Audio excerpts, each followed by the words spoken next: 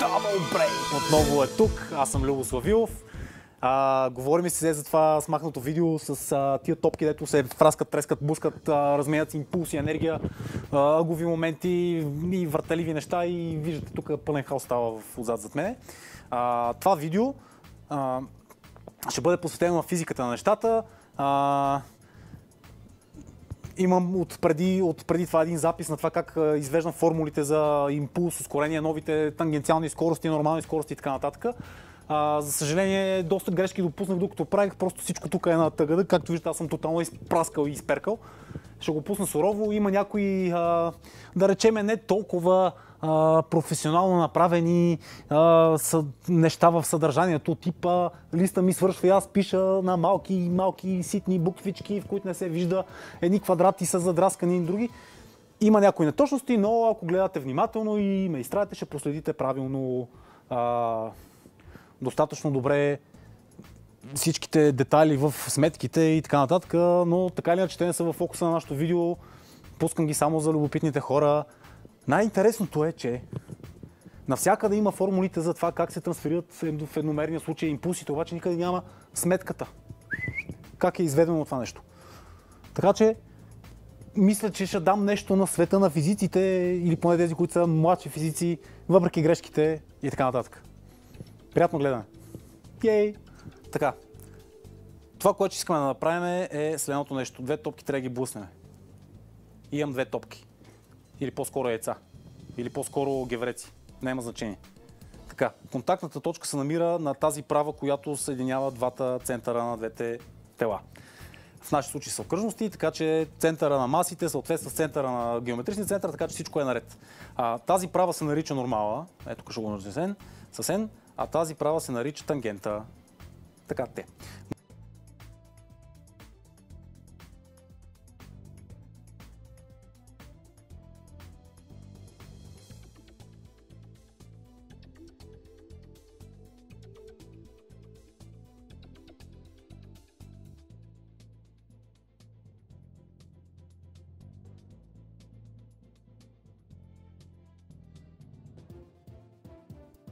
Учения, това е М1, това е М2, масите на телата. А, това се движи с скорост V1, голямо V, 1. Това се движи с скорост голямо V, 2. Така. А, танген... Компонентите, които ни интересуват, ето тази трябва да я проектираме тук. Се получава ето тази скорост. Мале гати на сраня чертеж. А тук се получава ето тази скорост. Това са и нашите нормални, нашите нормални нашите нормални компоненти на скоростите. Те ни интересуват нас.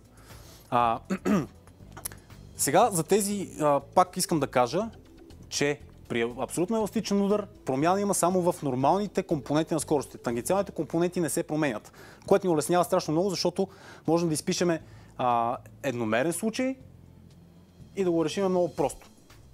За целта трябва да напишеме две неща. Първо, знаем, че импулса на едно тяло е равно на даже е векторче на m по v. Така.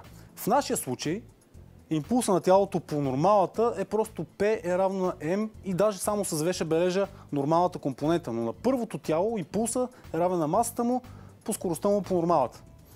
На второто тяло импулса е равен на масата му по неговата нормална скорост по нормалата. Така, това са нашите импулси. А кинетичната енергия на едно тяло е равно на една втора mv квадрат. Обикновено. Така, сега. Законът за пазни пулса твърди, че импулсът в началото на системата е същия като след удара. Кое значи, че сумата на двата импулса преди удара M1, V1 плюс M2, V2 трябва да е равен на, на импулса. Само, че а, вече телата имат други скорости. Ще ги бележиме с буквата U или U и те биха били следните. M1, U1 плюс M2, U2. Каквито и скорости да имат, сумата трябва да, след удара трябва да е равна на сумата преди удара. Така, това е законът за запазване на импулса. Едно. Законът за запазване на енергията е абсолютно същия. Сумата на кинетичната енергия на двете тела, M1, V1, на квадрат, така, плюс една втора от M2, V2 на квадрат, трябва да е равно на една втора M1, внимава U1 на квадрат, плюс една втора M2, U2 на квадрат. Това е нашия втори закон. Супер! Така, сега, това, което е много важно, е, че имаме две системи с две неизвестни. Две... Това, което е важно, е, че имаме две система с две... Това, което е важно в случая е, че имаме система от две уравнения с две неизвестни. Това неизвестните са U1 и U2. Двете ни нови нормални скорости на нашите тела. И това е много хубаво.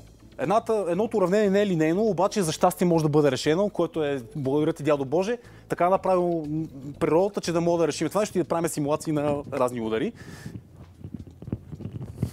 Аз вече откачам, не знам за вас. А, и сега ще решим бързо тия системи и след това ще почнем да имплементираме тия формули в а, кода. Две системи, две неизвестни уравнения. Найс. Nice. За да можем да решим това нещо, трябва да се възползваме от следната а, алгебрична формула. Добре известна, че а на квадрат минус b на квадрат е равно на а плюс b по а минус b. Ей, прецаках си мястото. Важна помощна формулка. Така, какво ще направя аз първо? Взимам първото уравнение и почвам да размествам някакви неща. Всичките а, членове засягащи първото тяло ги слагам от ляво, всички членове засягащи второто тяло ги слагам от дясно. Тоест това им ще го изведа от тук, това е от тук и така. От едно следва, от едно следва, че M1, V1 минус, минус, защото това го префърна от тази страна, е равно на M2, U2 минус M2, V2. Супер! От тук вада едно M пред скоби, от тук едно M2 пред скоби и получаваме M1, V1 минус U1 на M2, U2 минус V2. Супер! Това е нашето трето уравнение. Найс. Nice. Правя почти същото и с тази формула горе, само че малко повече стъпки. Ето тук ще се преместа. А, така, този член го свързан с тяло едно место от тази страна, този член го место от тази страна и получавам следното нещо. Една втора, M1, V1 на квадрат, минус една втора, M1, U1 на квадрат е равно на една втора, това нещо, M2, U2 на квадрат, минус това нещо, защото съм го пренесъл от тази страна, минус една втора, m2, v2 на квадрат. Така. Какво правим тук? Умножавам по 2 цялото уравнение. Получавам m1, v1 на квадрат минус m1, u1 на квадрат е равно на m2, u2 на квадрат минус, е, тук, да, минус m2, v2 на квадрат. Супер! Вада тази маса отпред пред скоби, вада тази маса отпред пред скоби. m1 V1 на квадрат минус U1 на квадрат е равно на M2.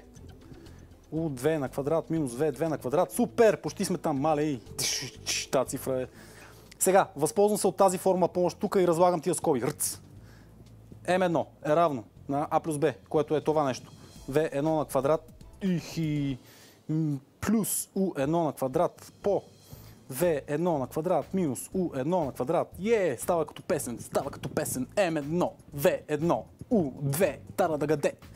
Това е равно на M2, U2 на квадрат плюс V2 на квадрат по скоба. U2 на квадрат минус V2 на квадрат. И това е нашето четвърто уравнение. Ей! Ебате кривото. И нашето трето уравнение. Това, което ще направя ето тук, е, че ще разделя уравнение 4 на уравнение 3. Пак го сбърках. Така, извинявам се, тук няма квадрати. Преписвам формулите грешно. Тук няма квадрат, тук няма квадрат, тук няма квадрат, тук няма квадрат. Е, случва се такива работи, обаче какво да правя са? Така, преписвам горното уравнение. М1 V1 минус U1 по това е плюс V1 минус U1 е равно, както казах, делиме на ето това нещо. M1, V1 минус U1. Супер! Тук ще моля се събера. M2, U2 плюс V2 U2 минус V2, малко криво, няма значение, M2 U2 минус V2. Супер. Това, което е хубавото, че това, това, това и това, това, това, това и това изчезват и получаваме следното. V1 плюс U1 е равно на U2 плюс V2. Супер! От тук може да изразиме едното неизвестно. U1, което е равно на а, U2 плюс V2 минус V1. Триш, триш. Намерихме едната скорост, която зависи от втората неизвестна, която обаче супер лесно мога да вмъкнем в това уравнение и да получим трич. Отговор. Супер. Значи U1 го заместваме ето тук. Така, от 3 и 5. 3, 5. Следва, че M1, V1 минус е тази работа. U2 плюс нека сложим скоби плюс V2 минус V1 е равно на M2 U2 минус V2. Съжалявам, не ми стига листа. Продължавам нататък. Какво мога да направя тук? Вкарваме в скобите навсякъде. M1 по V1 минус M1 U2 минус, минус така, минус M1 V2 плюс, защото има тук един минус, 100 минус става плюс, плюс това е става плюс M1 V1 е равно. Е равно на тази работа. M2 U2 плюс V плюс, това е минус. Минус V2 по M2. Така, преписвам на нов лист, който, за съжаление, нямам.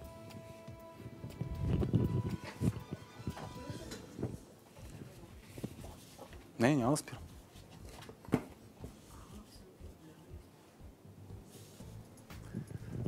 Преписвам това, което получихме на нов лист.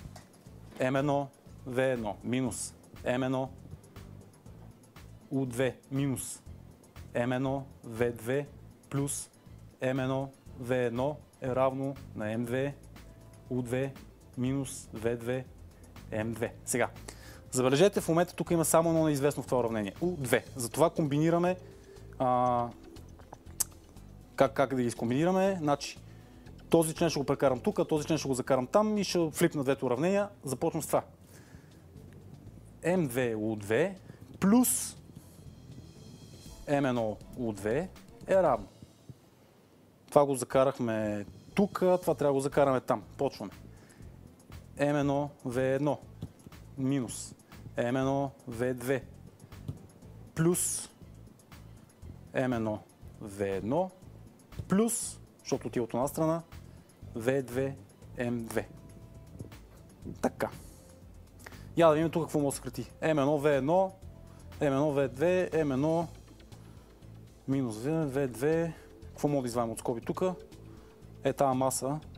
Нещо не ми харесва тук, как се получат нещата. Защо като прекара М2 U2 оттатък е да ти е? А, Не. Аз просто обърнах цялото уравнение, да. Нещо тук сбърках M1, V1.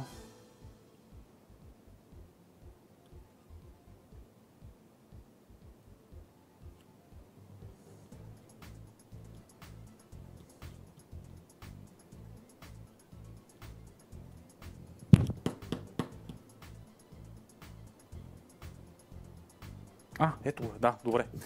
Значи, тук може да изкараме М2 пред скоби и става е, глупости. Можем да изкараме U2 пред скоби. U2 M1 плюс M2 е равно. Комбинирам тия двете. Два пъти M1 V1 а, минус M1 V2 плюс M2 V2. Така. Тук мога да изкарам V2 пред скоби. И мога е това нещо го занеса отдолу. Става. U2 е равно. M1 плюс M2. Това си го свалихме долу. Изкарваме V2 пред скоби. V2 пред скоби. Имаме M2 плюс M1. А, M2 минус M1. Минус M1. Плюс два пъти М1, В1. Супер!